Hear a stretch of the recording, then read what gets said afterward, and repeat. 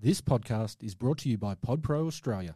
What is sponsorship marketing, you ask? If you don't know the answer, this episode is for you. Social media, Google, email marketing, systems, website traffic, and the endless content creation that comes with marketing. It's overwhelming, right? Say goodbye to endless stress and hello to clarity with the Meaningful Marketing Podcast. In this podcast, I will share with you fast and free practical methods to help you manage, monetize, and market your business, all infused with a healthy dose of motivation. Let's do this. Welcome to another episode of the Meaningful Marketing Podcast. I'm your host, Chantal Gerardy. In today's episode, I will be talking to you about how you can do sponsorship marketing. So what is sponsorship marketing? Uh, recently, I've been working with quite a few clients that have been partnering with other companies that can provide financial support, products, or services in exchange for promotional opportunities. Today, I want to share with you how sponsorship marketing can work for your business, how sponsorships are valuable, how to find and market to potential sponsors, and I'm even going to share with you some examples in how to do that. Sponsors often choose to sponsor based on a variety of motivations, including being ego driven, to use it as a tax offset, or as a desire to contribute to, towards a cause. Ego driven sponsors seek visibility and recognition, wanting their brand to be predominantly featured to enhance their reputation. Sponsors motivated by tax offsets are looking for opportunities that provide financial benefits through deductions. Those driven by contribution aim to support initiatives that align with their values and their missions. To effectively attract these sponsors, your marketing and your content should be tailored to address these drivers. You need to highlight the visibility and prestige they will gain, clearly outline the potential financial benefits, and emphasize how their sponsorship will make a meaningful impact. By aligning your messaging with their motivations, you increase the likelihood of securing their support. So why do businesses need sponsors? Number one, financial support. Sponsorships provide necessary funds to support events, projects, or initiatives. Number two is increased visibility. Partnering with well-known brands can enhance your visibility and credibility. Number three is access to resources. Sponsors can offer resources such as products, services, or expertise that you may not have. Number four, networking opportunities. Building relationships with sponsors can lead to further business opportunities and collaborations. So what is the sponsorship marketing process? Well, as always, number one is having a strategy. Determine what type of support you need. Is it financial? Is it product based? Is it services? Number two is researching your potential sponsors. You want to look for companies that align with your business values and your targeted audience. Number three is you want to create a sponsorship proposal.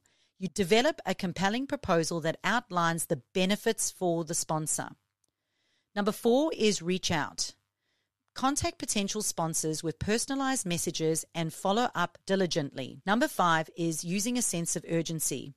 Include an end date for sense of urgency and so they prioritize giving you an answer. Use follow up SMS to direct them to their emails to reply. A line in the sand email or an SMS can prevent you from wasting time with time wasters and can get busy non replies to reply. Number six is negotiate terms. You may wish to discuss and agree on the terms of the sponsorship or make it easy for them to simply click a button and finalize the agreement and terms. Number seven, and this is a very neglected area, make sure that you maintain the relationship. So keep the sponsors updated on progress and deliverables. Follow through on any outcomes you agreed on with the sponsorship. Be sure to correctly tag and promote your sponsors, respecting their brand and their contribution. So, how do you find these sponsors? Well, firstly, research potential sponsors. You want to use industry directories. You want to attend industry events and conferences to meet potential sponsors through networking. And of course, social media. Use platforms like LinkedIn and Facebook and other platforms to identify and connect with suitable companies. Let's look at some lead generation strategies. In LinkedIn, you can use advanced search filters to find decision makers in targeted companies. Use DM strategy, clearly outlining the opportunity and benefits for them. Number two, use Facebook to follow and engage with brands that align with your values. Number three, Facebook groups. Join industry groups and participate in discussions to identify potential sponsors.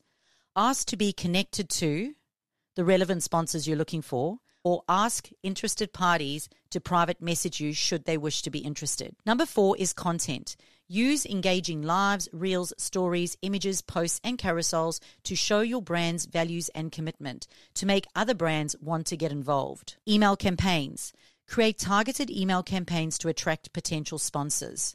Now, in my experience, this is often a neglected area. Many times people will send out general, fluffy, cookie cutter emails rather than sending out specific targeted emails to potential sponsors. The content that you create and put inside these email campaigns is absolutely imperative in order to get them to make a decision. Webinars and online events.